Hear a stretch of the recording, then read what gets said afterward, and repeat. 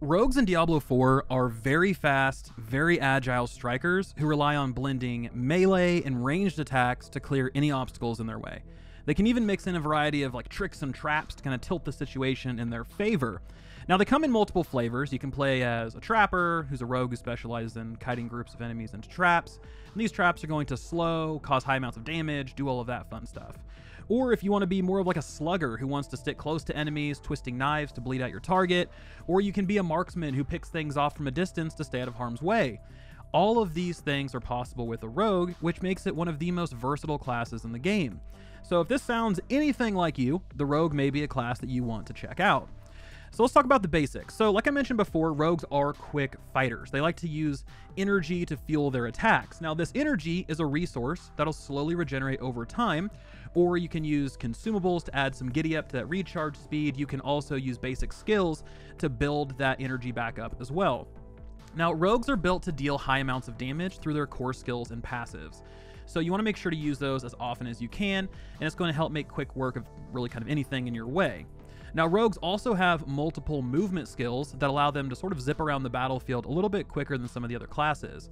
But they also have things like slow, chill, freezing enemies, stunning crowd control effects, all of these things at their disposal to help lock down enemies. So when you can't, you know, get away with movement skills, you have CC to help kind of slow enemies down. And then lastly, rogues are sort of a jack of all trades. You can use straightforward attacks, you can lay traps, you can slow down enemies, you can lock them down with CC, or you can just blow everything up with incredibly heavy damage. So truly, they are a very, very flexible class to play as.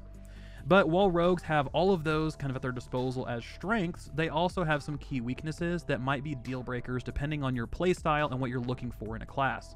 So for one, they're squishy. They're going to require investing into dodge, dexterity, all of that stuff to avoid taking large amounts of spike damage. So for this, you want to choose dexterity as it grants extra dodge chance and increases skill damage. Now, they also require positioning and setups to be most effective, right? So, combo points is something we'll be talking about here in a little bit. But in addition to that, if you aren't able to debuff your enemies or you don't have access to certain skills because you're out of range, your damage is going to drop off of a cliff. So they do require a little bit more thought and positioning than maybe some of the other classes. So these are all things to consider when choosing a rogue, but honestly, with all that being said, let's dive deeper into this class and learn more about how it ticks. So, one, the rogues do have a special trait um, they can equip two one handers and a ranged weapon at the same time. Then, as you use abilities, you can swap between those weapons depending on what skill was used. So, certain abilities will require a certain weapon, and unlike barbarians and their arsenal system, you can't choose which weapon to use for each ability. But you will still receive the stat benefits of all of your equipped weapons, whether they're being used or not. So let's talk about class specialization before we get into skills. So starting at level 15, the rogue can unlock their class specialization with a quest line called True Potential starting in Menestad. Now this is going to give you one option, the other two options will unlock at level 20 and 30, but the one we get access to is combo points. So combo points are going to cause your basic skills to generate combo points, and then certain skills will consume these for extra effects. The other two specializations you'll have access to later on are Inner Sight and Preparation. Inner Sight is going to cause marked enemies to fill up an Inner Sight gauge. Now, when this gauge is full, you're going to gain unlimited energy for 4 seconds, meaning you can just spam whatever core skills you want because you have unlimited energy. For preparation, for every 100 energy you spend, you're going to reduce your ultimate skill cooldown by 4 seconds. Then, when you use your ultimate skill, it's going to reset the cooldowns of all of your other skills. So, this is one that I'm really looking forward to. I want to see what people can do with this because it just seems like there's so much potential built into that, especially if you're using high energy cost skills. Okay, so let's talk about the skills themselves for the rogue. So just like all of the other videos, if you've watched the other kind of final preview videos for the classes, they sort of follow the same trend. So you have basic skills. These are low damage skills that are zero cost and they're typically used to regenerate a resource or have an effect. Core skills are the motor that drives your build and your rotation. These are the things that make your character go. These are going to consume resources to deal larger amounts of damage than basic skills, and they typically hit more enemies per cast. Agility skills are movement skills. These allow you to reposition, move through enemies, or gain advantage of enemies.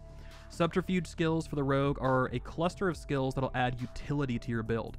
These can be offensive, defensive, or a mixture of both. Imbuement skills will imbue your next two attacks with extra effects, and they possess a cooldown.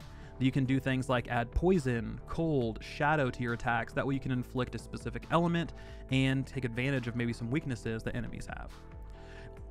Ultimate skills are your game changers. These are high impact skills, they have a long cooldown, and you can only choose one of these at a time.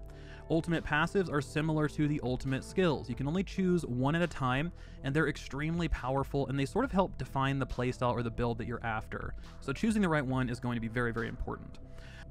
So next, let's talk about some examples of each skill for the rogue. So for basic skills, we have Heartseeker.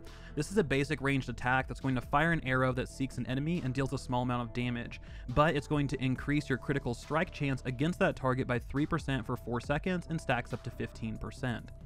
Then we have Invigorating Strike, which is a melee attack that'll deal a small amount of damage and increase energy regeneration for a short duration.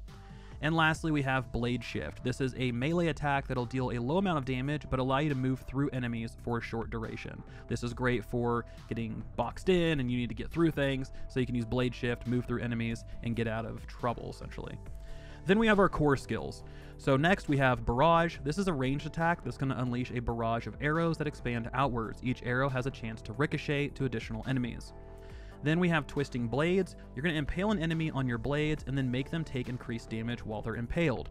After a short duration, your blades will return to you, damaging any enemies on their way back. For agility skills, we have Shadow Step. You're going to become unstoppable and quickly move through the shadows to stab your target from behind. Then you'll also gain movement speed for a short duration after.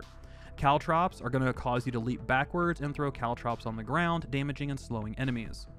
After agility skills, we have our subterfuge skills. We have Dark Shroud, you're going to surround yourself with 5 protective shadows and gain damage reduction per active shadow. Once you take damage, a shadow is then consumed. Poison Trap is going to place a trap that'll deal a large amount of poison damage to enemies in an area. Imbuement skills, we talked about these a little bit earlier, but these are going to cause your next two attacks to deal a specific element of damage. So we have poison. So next two attacks, you're going to deal poison damage and apply poison that deals damage over time. Shadow is going to cause shadow damage and infect enemies, causing them to explode on death, dealing damage around them. Then we have Cold. This is going to deal cold damage and chill targets, and this does increase damage to crowd controlled enemies. So choosing the right imbuement for the right step, for the right build, that's going to be something that you really want to kind of think about and take advantage of. After imbuement, we have our ultimate skills. So we have Shadow Clone. You're going to summon a shadow that mimics your actions for a duration and deals a portion of your damage to targets. Rain of Arrows is going to cause arrows to rain down over an area twice, dealing large damage each time. And lastly, we have Death Trap. This is a trap that's going to deal a large amount of damage to enemies in an area when triggered. After your ultimate skills, we have our ultimate passives. So for these, we have Momentum. Melee is going to grant a stack of momentum for a short duration if you hit a stunned, immobilized, or frozen enemy or if you hit any enemy from behind. When you reach three stacks of momentum, you gain increased damage reduction, increased energy regeneration, and increased attack speed. We have Victimize, so you're going to gain Lucky Hit, and then when you deal direct damage to a vulnerable enemy, you have a chance to cause an explosion and deal extra damage to your target plus nearby enemies. Then we have exposure. So here you're going to gain lucky hit again, and then damaging enemies has a chance to reduce your cooldowns of your trap skills by 25% and drop a cluster of stun grenades that stun and damage enemies.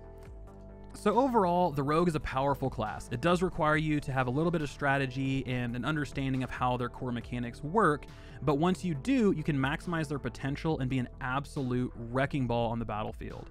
So the question is, is the Rogue class for you? Are you planning on rolling another class? Let me know in the comments section below. But as always, this has been Vulkan, and I'll talk to you guys next time.